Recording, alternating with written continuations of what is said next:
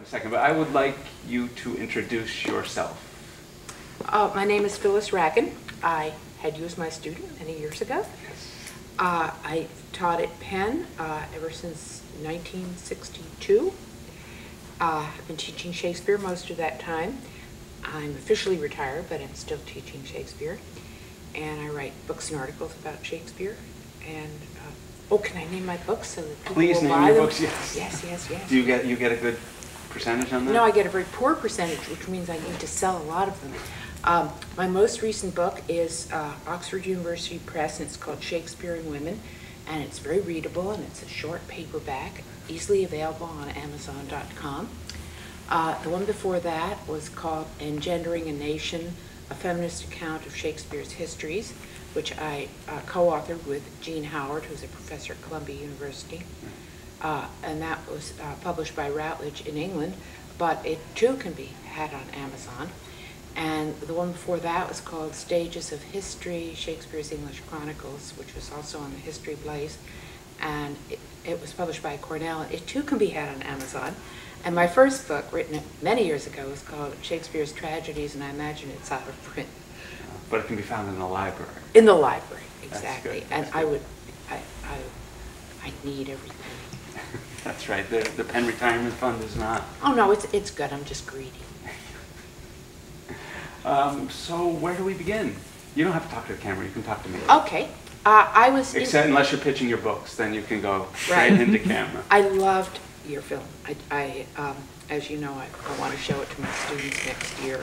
Um, it just, I found it very moving. Uh, your Portia was wonderful, and you used her so well. And your focus on Portia, I think, was exactly right. I've, I've never seen a production that had such a strong Portia. that That's, that's so what I took away from your class all those years ago, which we won't mention the number of years, was I just remember that, I held on to that, and then when I was going to look at the text, it was very clear to me that that was so important in shaping, shaping the production. Well, you know, I looked something up in prep, in preparation for our talk today, uh, got numbers. I looked up the numbers as well, in the Did? RSC version, or did you look them else, somewhere else? I looked up in uh, Spevack's Concordance to Shakespeare, how many, what percentage of the words in the script? Yeah, what do you get, what'd you get on that? I got, uh, It's over 20. Antonio speaks 6.837%, Bassanio 12.379%, Shylock 13.746%, and Portia 22.111%. Twenty-two percent, yeah. What is it, almost three times as many as, uh, Antonio, oh, more than three times as many as Antonio, almost twice. and twice as much as Bassanio and Shylock, right? Exactly.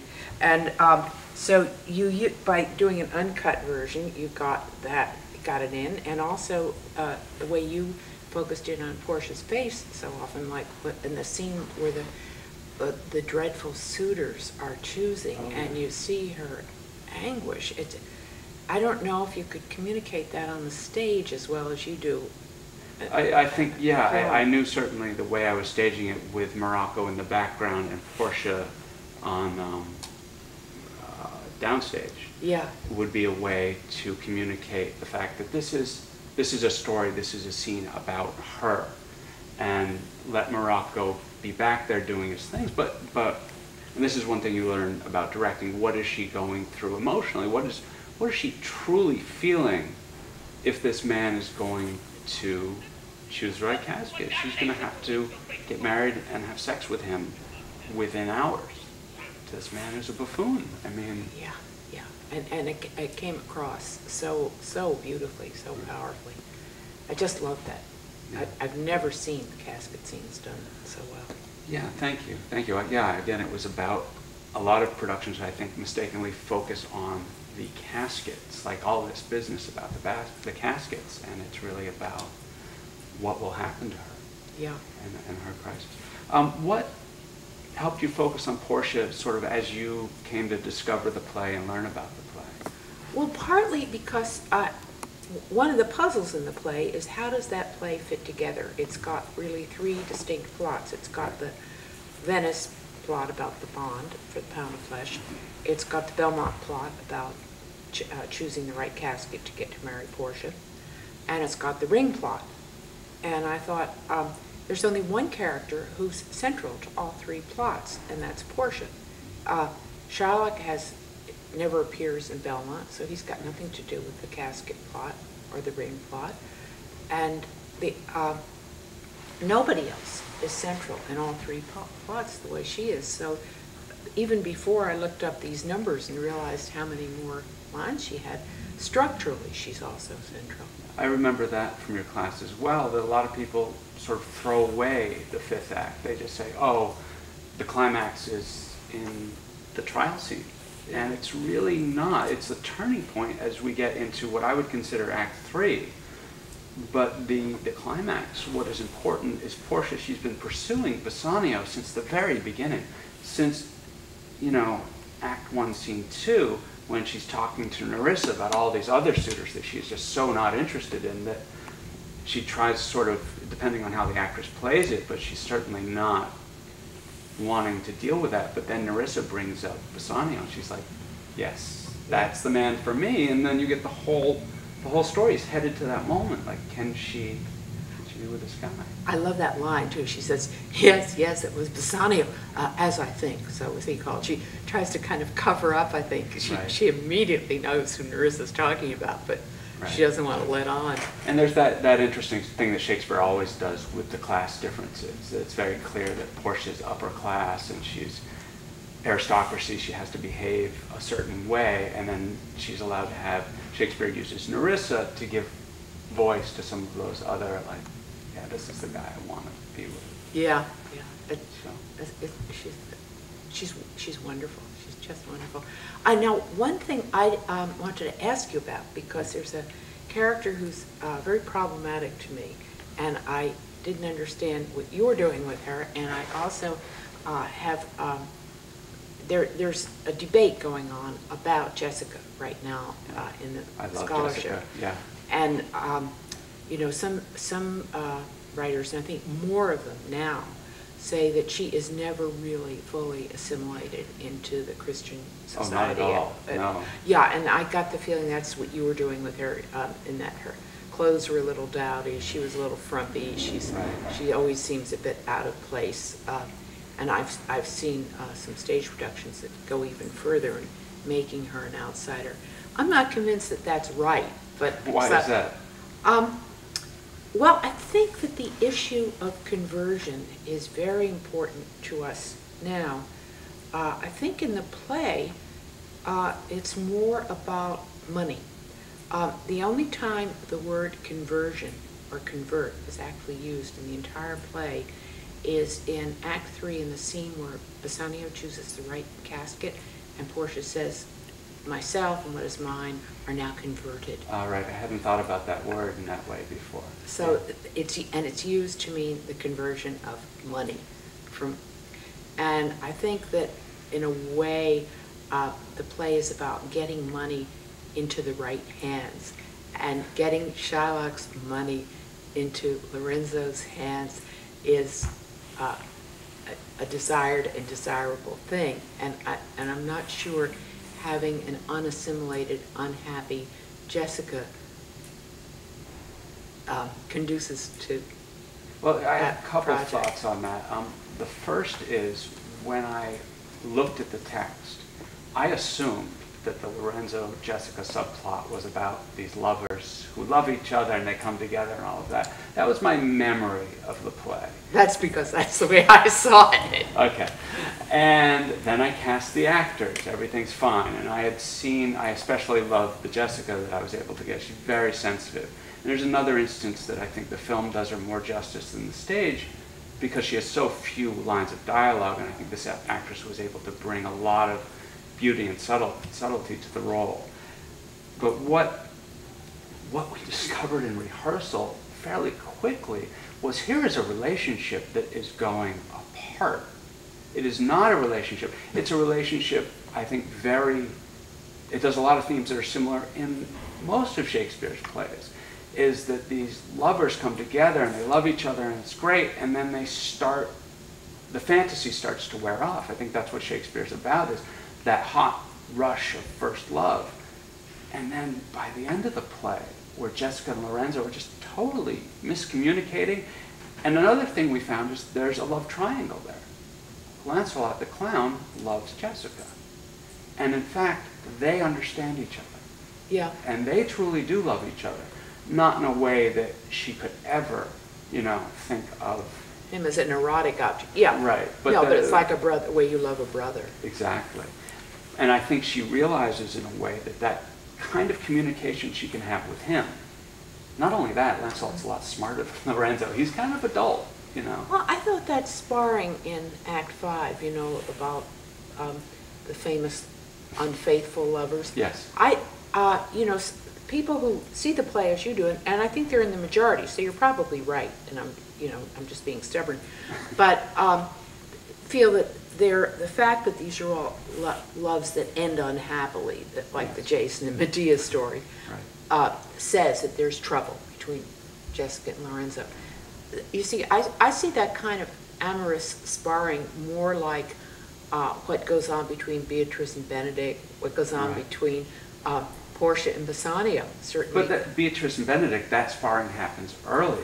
Yeah. And by the end of, by you, the time you get to the Good end of. Much Ado About Nothing, I mean, she's asking him to murder his best friend. Yeah, yeah. And so that's, again, I think sort of the fantasy So the relationship. yeah. Moving, moving into this. I mean, I just saw All's Well That Ends Well a couple years ago. I was like, oh my God.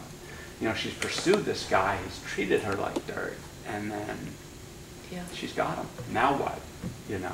yeah, I- yeah. I do. Well, she- I guess she's happy. No, I don't think, I think, I mean, I always see, especially the end of Merchant of Venice, is, again, they've, from the beginning, all they've done is batted their eyelashes at each other. Uh-huh. Bassanio says, I've seen, I received, what, you probably, you know the text as well as I do. Bare speechless messages. Bare speechless messages, right? Yeah. You know, they looked at each other and go, you know, batting their eyelashes at each other. And by the end, he's given away his wedding ring. And I said, uh, unfor- you know, not unfortunately, but the actors I was, I was working with, they're 19, 20 years old, which is perfect for the play. Yeah, But at the same time, this is my wedding ring. And you have a wedding ring? Right. Would you ever? This is always on my hand. Always. So to give that away is such a betrayal. Well, it's interesting, the wed, the wed, the way the wedding ring changes depending on whether it's in Belmont or in Venice. And it's the same as Bassanio. When Bassanio's in Venice, he sounds like a, a vulgar fortune hunter. The first thing he says about Right. Portia is in Belmont is the lady richly left. And then that, I think that leads a lot of people on the wrong path, though. I think he's trying to get Antonio to understand it in his terms. But anyway, go ahead. But, and when he's, um, when he's in Belmont, the wedding ring is just what you think your wedding ring is, and I think my wedding ring is. It's a Right. pledge of love, it's a gift. When he's in Venice, the young lawyer demands it as a fee for service. So the thing that is a gift is transformed into a commodity, and it's transformed into payment. Right. And then when he, when he gets back to Belmont and Portia gets it back from him, but has it back and finally gives it to him again, she transforms it back into a gift. So it's the different, this, the ring has a different status depending on which world it's in, I think. But I think always it represents the sexual bond, the sexual commitment of the partner. When you give someone a ring, you say, I'm going to be monogamous with you. And I think it's very, very telling that Bassanio says, I won't give you my ring, sir. And then who speaks up and tells him to give the ring away? Antonio, of course. Antonio, of Yeah, course, yeah. yeah. So it's Antonio that's getting in the way of this sexual union Yeah, yeah. um, for whatever reason, which we can go into in a minute. Uh, so even in Venice, I think that although you could say it's payment, it still represents his bond, his commitment to Portia, and his sexual fidelity to Portia, It does as long as he keeps it on his finger. right? Which he doesn't. But yeah, once he takes it off his finger, it becomes a commodity, I think. Right. And um, should we delve into Antonio territory? Sure, Because that's, sure. they- that's been going on forever. That's, that's, a uh, yeah, that's uh, since, I think, around 1920, was it? E.K. Chambers or somebody, but certainly in the last 25 years, it's been, uh, that, that relationship between Antonio Bassanio has come in for a lot of attention. Right. I'd be curious to hear what your take, I mean, I know what my take is on it, which I think is different than a lot of what I've read before, I Yeah. hope. But what, what is your take on it? Well, you know, again, I'm, I'm probably gonna sound old-fashioned.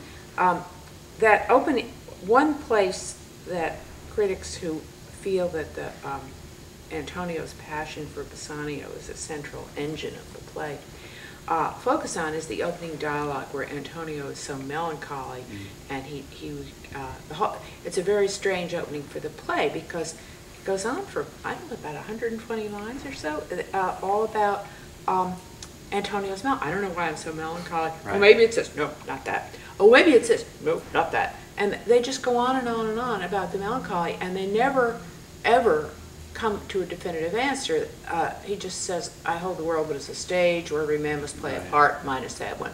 So why does Shakespeare begin the play with this long, inconclusive dialogue about Antonio's melancholy? All it establishes is that Antonio is melancholy, Yeah. and it doesn't say why. So one answer that's often given is that it's because he, of the love that dare not speak its name, it's his passion for Bassanio, and he has an inkling that Bassanio is in love with Portia. Right. He knows it already, even though we don't. Well, actually, Bassanio he does say, he says, um, tell me what that, you, again, you can probably quote the lines better than I can, but the, um, tell me of that lady, you know, because Bassanio's already given, given him a clue. In fact, I would argue, there was a line that Shylock says later. He says, Antonio's got this fleet in here, this fleet in there, and he says, other ventures he has squandered abroad. Yeah. Now, I decided that meant Bassanio was the other venture he squandered abroad. Oh, really? Yeah, because where else is Antonio's money? He gave Bassanio money to woo Portia early, when he went the first time, just before Portia's father died. So I had that actor, I was like, you direct this directly to Bassanio. Okay, now you're saying stuff I didn't, I, I thought that the first time he knew about, uh, Bassanio, about Portia was when- Bassanio says, in Belmont is a lady richly left. No, he, he actually has already been to Belmont once. That's when they made Oh, the yeah, the no, eyes, know, right? no, but has he, where do you, where do you find that Bassanio, that Antonio knew about that before? That's the Um, part. We could try to Yeah, see if you can find it, because I don't think, Um, uh, it's, if it's there, I missed it. let me See, take a look. Yeah. Well, tell me now what lady is the same to whom you swore a secret pilgrimage that you today promise to tell me of. Okay. So at some point in the past, Okay, and where's the in Belmont is lady richly that's right after. Um, where are we? Uh, he, Bassanio hems and haws for a bit.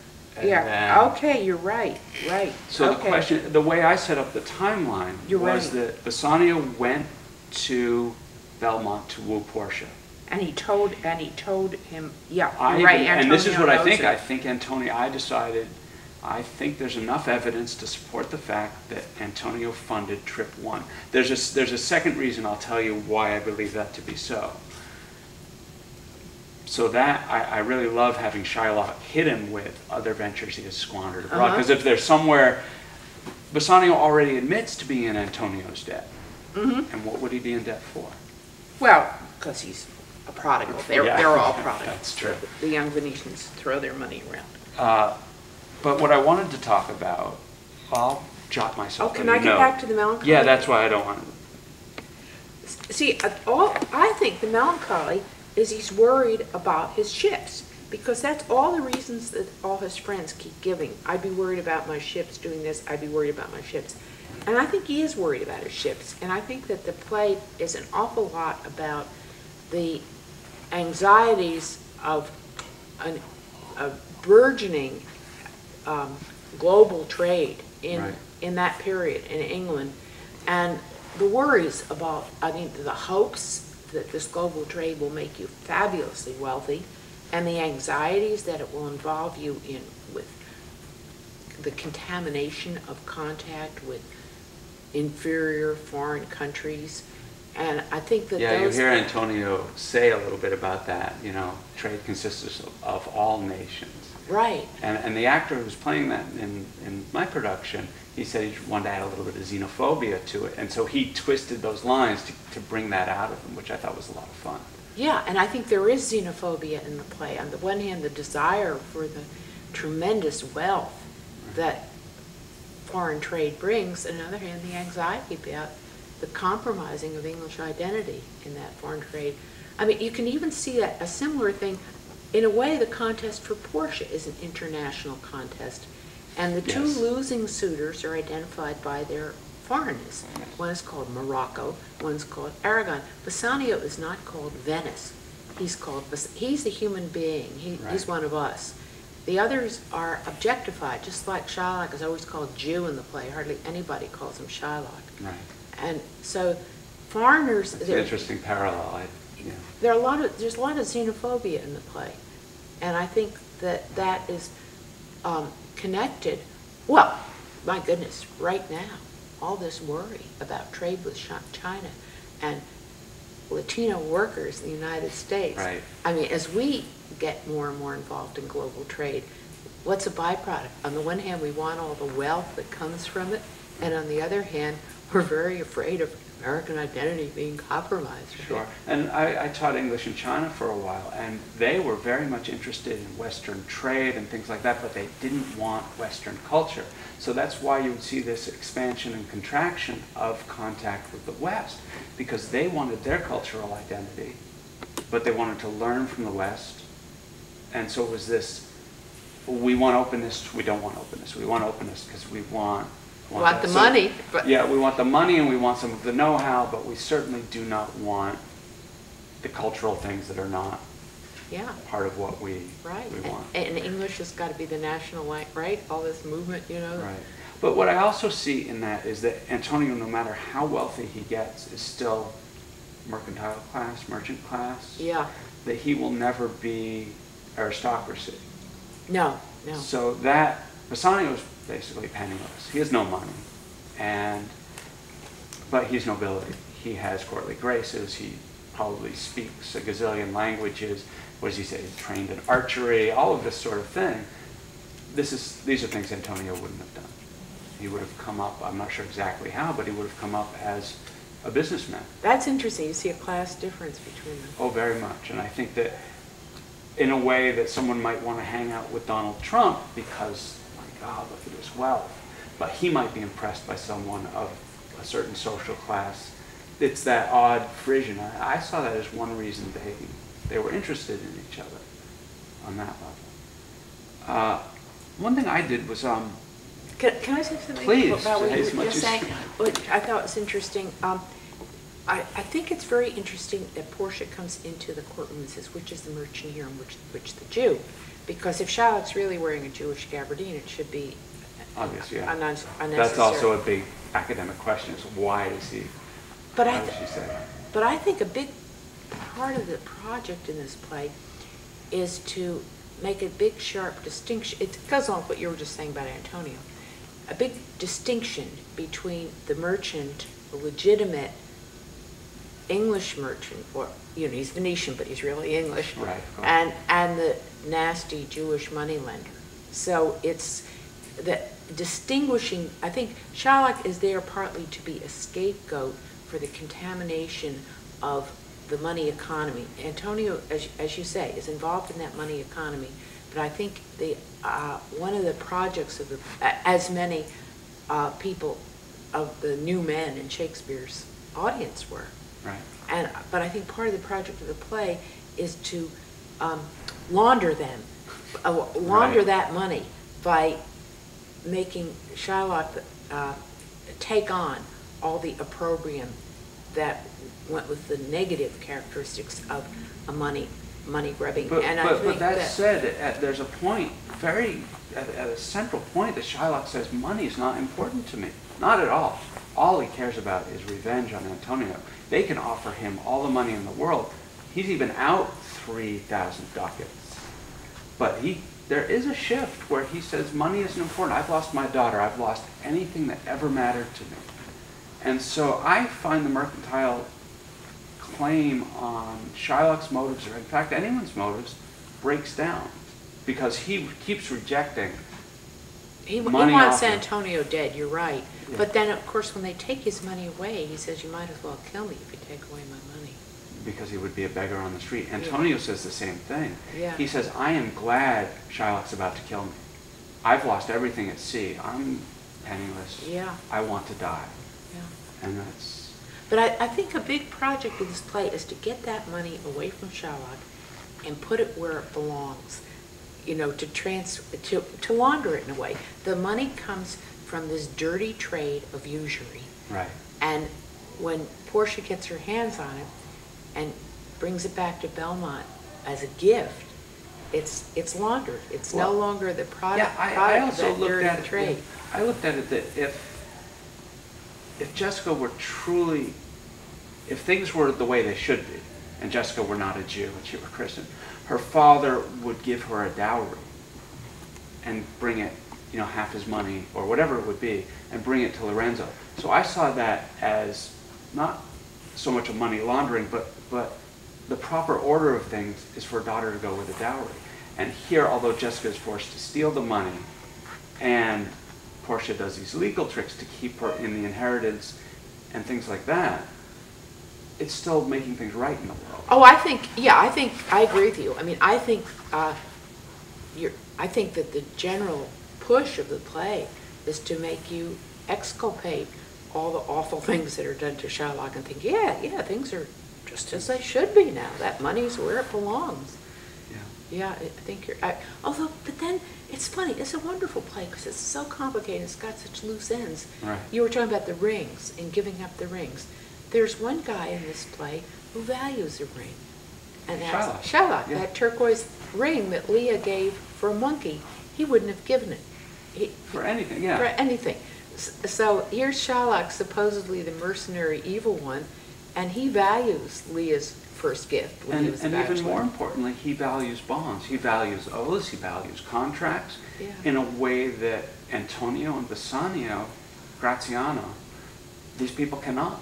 And if there's anything that is very clear from the play, it's it's it's about bonds. It's about contracts, um, contracts in um, exchange and contracts of marriage. You don't cheat. You don't. You, you stick to your vows. And Shylock and Portia and Marissa stick to their vows. Whereas the men are not able to do that, the other men. Did you know that Shakespeare's father was a moneylender? Shakespeare's Uh, father, Was a usurer? I knew he was a glovier. A Which I- glover. Yeah, but he was, he was also a usurer. That I did not know, because I've looked, but where did you find that? Oh, gosh, uh, I think I have, uh, one of the many places where that's, uh, documented in my, in one of the books in my office. Should I go get it? Uh, no, no, but I would be very show it you. curious, yeah. Yeah, but it's, it's now known. So that puts another cast on. And his the father whole- was a big alcoholic, so. I didn't know that. Oh, you didn't? Oh, No. no, he was, he was often cited for drunkenness or fined or this or that or the other thing, yeah. Oh, that's neat. Yeah. I didn't know that, but I, I did know the thing about the usury, Yeah, which, which I've puts an that. interesting line. I had a couple more questions for you. that I Please, please. Um, I was, uh, you didn't, um, interpolate much. The only two things I noticed were the beginning, which was a kind of, uh, dumb show of Portia's father's funeral. Right. And then a few places where, um, Jessica and Shylock speak Hebrew to each other. Or, Yes. You know, what, I don't know if it's real Hebrew. It is, it is definitely real yeah, Hebrew. but- uh, but it's, you know, it could, you could, well, I guess you couldn't get away with fake Hebrew nowadays, you know, the way No, Shakespeare we- gets we- away with well, what fake we did, uh, We were in Cambridge and, um, and there, you know, there are translations of The Merchant of Venice into Hebrew. I contacted the, the scholar who had done some work, got his permission, and then brought it to some people at the synagogue I was going to and said, can you transliterate this? That's so great. And then the actors were able to, you know, Cambridge University students, they were able to definitely Do it. handle it, yeah. Okay, so I'm interested in both of those choices, you know, what you were, what you were up to. Um, we have to remember the actors. Uh-huh. The director's best job is to cast the best actors he can find. So in casting that Shylock, which I almost, that was a very difficult thing to find someone who could actually do it. Yeah, he was, he was wonderful and, and I almost didn't have, I almost, you know, didn't have one.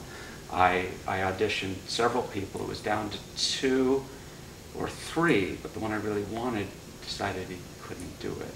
And so the other two I was not happy with. So we reopened auditions and finally he came aboard and so that was wonderful. Is he the one you wanted from the first? Uh, no, I would have wanted him from the first if I, if he had come, but he wasn't planning on doing a production.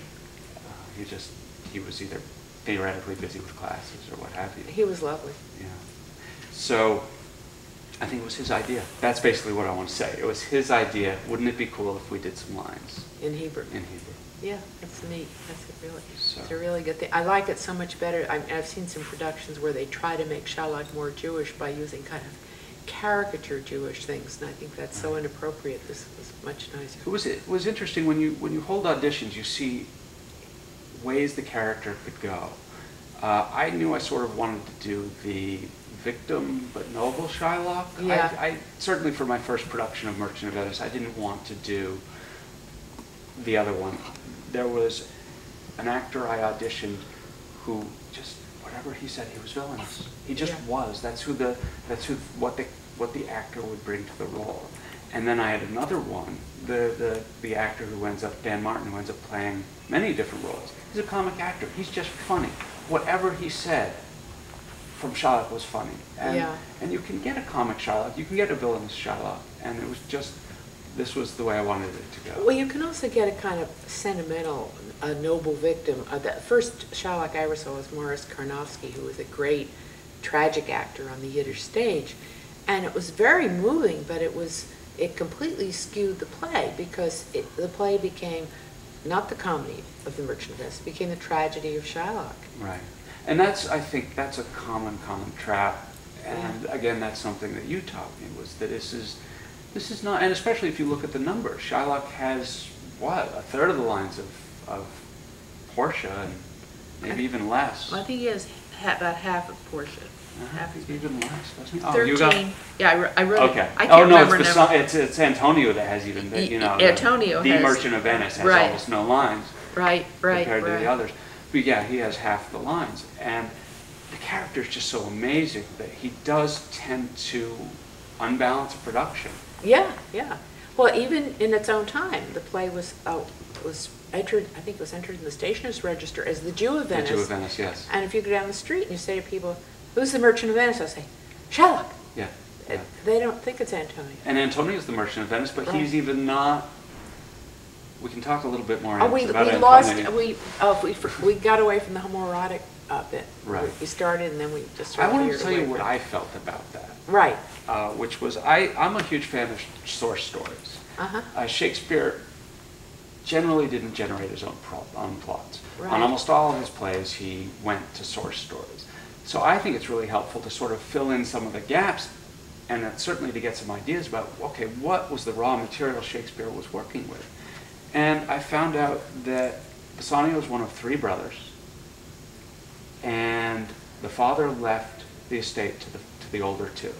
And he did this out of love because he wanted Bassanio to go out and seek his fortune in Venice with his godfather. And the other brothers are so lovely. They say, hey, look, dad didn't leave anything to you. We're happy to redivide this. And he says, no, this is what my father wanted me to do. And so he, goes to Venice, and Antonio is his godfather and nurtures and cares for him. And I thought about it, and I said, the bond I have that is stronger than anything else in the world is the bond of my son. There is nothing, no love, no romantic love, that can come close to that bond. And I said, that's what I want you guys to focus on, that this is that kind of bond. It's deeper, greater than any sort of homoerotic relationship. Now, that said, whenever we actually got the thing up and running, it's like there's something under here. There definitely Yeah. is something going on under there. But I think if you're directing it properly, you say, let that be subtext. We don't know. We can never know exactly what's going on. And productions I've seen where they try to put a button on it and say, this is a homoerotic relationship, they have a sexual relationship. As soon as you do that, then you localize it. And I actually think you don't create a strong bond between them because you're like, well, you know.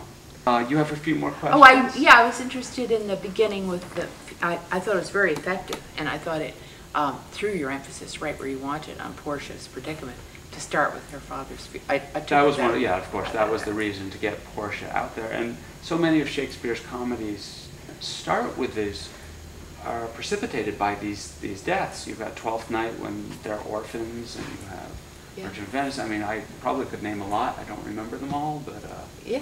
I mean, Hamlet, obviously. Henry the Sixth, Part One, begins with the funeral of Henry the Fifth. Yeah, yeah. I, I thought that was nice. I thought really, I just, I loved your film. I, Oh, you know, I you. thought you had Thank you. terrific actors, and I thought you used them so well, and obviously somebody, must have been you, directed them well. I don't know, yeah. But it, it was really stunning, and, you know, as, as I said, I want to show it to my students. Oh, great. I'm sure you've seen a lot of uh, Merchant of Venice productions. I have, I have both on stage, and I'm trying to think what film I saw. Uh, Did you see the Al Pacino version? Oh, We yeah, gotta wait that till, uh, well, You don't want. how are you guys doing on tape? Are we, This says I have uh, 41 minutes. Uh, I got 42. You don't want me on tape saying what I think of that. oh, no, you do, because I won't say it, and I won't use it, but maybe we will. No, I, I'd rather, I did, it, it didn't, I didn't like it. I, when I first saw it, I thought, oh, okay, this is interesting, and I watched it a second time, I was like, oh, this is the most atrocious thing. Yeah. Especially after I looked at the text, I was like, they didn't get it, they missed, they missed it. Well, you know, I think one problem with this play, and one reason why Shylock gets overemphasized, is the star. You get a star actor, he gets Right. Shylock's role, he cuts around Shylock. Yes. He brings Shylock out, he makes Shylock, it's to make, it, it, it um, ruins the weight of the pl- play, it ruins the balance of the play because it overemphasizes shock, but that's partly about the economics of big-time theater because you want to, you know, you, you're paying for a star, so you want to feature him. And it's about the egos of the star actors who have the right. And nobody also knows how to make the fifth act play. It's not an afterthought, it's the, it's the most important part, because Portia is winning Bassanio. Yeah. She has to basically bring him, make him heel, or else she's gonna lose him, or else he will go have sexual dalliances in Venice. Men, woman, who cares? He needs to know that this, this is where it's at, and he's not taking off his ring to pretend he's single or, or whatever, and so that fifth, that fifth act is so crucial. Do you, do you notice that she's kind of taking over Shylock's role there? And, and how so?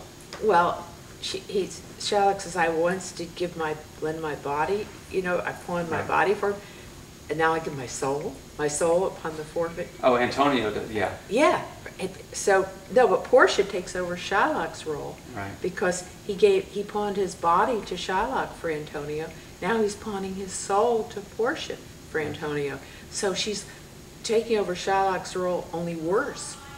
I think also one thing people overlook is Antonio's the bad guy. He's the antagonist of the whole piece. And I think he uses Shylock as just one piece of the puzzle to bind Bassanio to him. Why is that bad, though? He- he Oh, I don't say it's bad. I just say that's that's what people overlook. It's this is, and that's also why the fifth act works because Antonio only agrees. Portia only relents when Antonio steps up and says, "I will bind him. I will let him go." Anto- will bind- Antonio says, I'll bind myself, right? He says, my soul upon the Yes. forfeit. And then Portia relents. She says, "Then you shall be a surety," and she gives him back. She says, right. So it's only when, although she's, one thing I felt in staging that scene is, although she's attacking Bassanio, and saying, "Bad boy, bad boy, bad boy," it doesn't actually. Nothing stops until Antonio says, Yeah, but, but she sucks, she, she subjects Antonio to what's theoretically a, a harsher bond than Shylock subjected him to. "His soul." Right. Yeah, And so that's not too nice. No, it's good. It's good. He's, he's no, he's, bearing, he's bearing witness to their union, right? And that's uh, that's what Shakespeare's dealing with here is is that commandment that you shall not bear false witness. So when Bassanio swears to keep the ring, and then he breaks that commandment, that fundamental one of the Ten Commandments, that he's bearing false witness, that he's lying. Then what you need to do is teach everybody in the play. This is not about lying. This is about upholding your bonds, marital bonds. You name the bond. Um, and so Antonio's soul upon the forfeit is actually the right thing to do. Well, she, then she's out Shylocking Shylock. She, Shylock's the other, the, the two characters in the play that are very big on making people uphold their bonds are Right. Shylock and And Portia. Shylock and Portia. Shylock's fundamental flaw, though, I think, and uh, is he has this bond. He has it. It's a written contract. But there's a higher law that the bond he made was a bond of murder. So the bond itself is corrupt.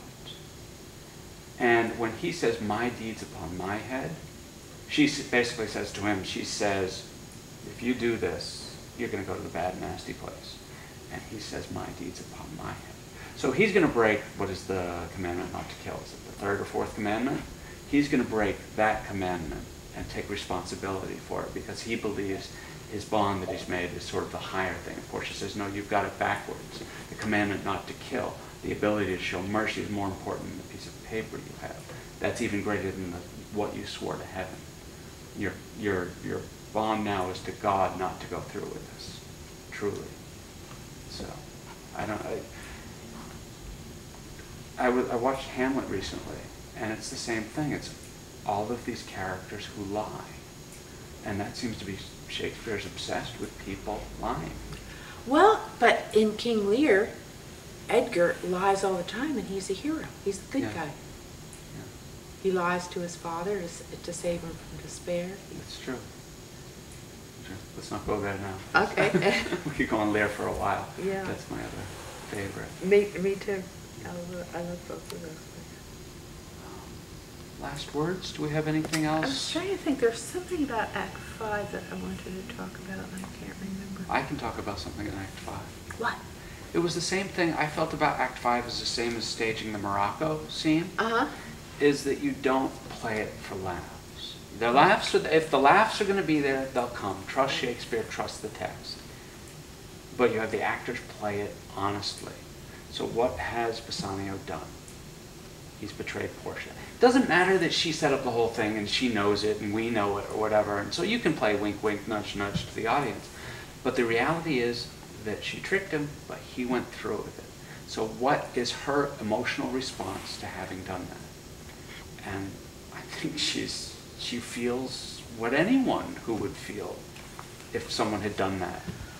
And so I had I wanted that actress to play that truthfully.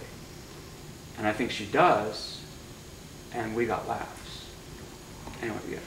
See, I think that uh, the casket test that Bassanio passes with flying colors, although Mhm. maybe she's giving him some hints. I know, that's another thing that I will not, I, again, it's about the honesty of the moment and the scene, that if you play that, Uh-huh. then you lose the dramatic power of the scene. You do know that she knows which casket because by this time the other two are eliminated. So you don't think that the song is a hint? The song is a hint, but it's another, that's, a, that's Shakespeare winking to the audience if they get it. But Bassanio doesn't get it. Okay, but I, like, I, I don't, I, I just I- think that's a bit of play. I don't think that you could truly say, what is it, bedhead, whatever, it rhymes with lead. I don't think. reply. Reply, reply, yeah. Yeah. Anyway, Bassanio passes the casket test with flying colors, and that's a test in which there are two wrong answers and one right answer. Mhm. He flunks the ring test. It does flunk the But, ring test, yeah. but I don't think there's a right answer to the ring test. The, uh, if he, you, you've already pointed out all the reasons why the answer he gave is wrong. Right. But the answer he didn't give is also wrong. He failed the ring test when he offered any payment. That's when he failed. In other words, when he said anything you ask for. And he should never have done that. In fact, he failed several times during the courtroom. He said, I would give my wife up. You know, what does he say? He says, I would. I wish you were in he, here, one of them says, I wish you were Graziano in says, I heaven. wish you were in heaven to entreat some Yeah. power. Uh, Bassanio says, I have a um, wife I have a wife, right. So dear to me, and, I would sacrifice all. yeah. And I think in the, again, it's about emotional truth. He, in the moment, that's what he believes. Well, he's a prodigal, he's a plunger, isn't he? Yeah. So he's failing. He's failing every step of the way. He's, he's, you know, it's a man. Men in Shakespeare's world are often fickle, and they're, of- they're not constant, and they need to be brought into line by the women. Isn't that true in real life, though? That, maybe that's where we should end. Yeah. That's great.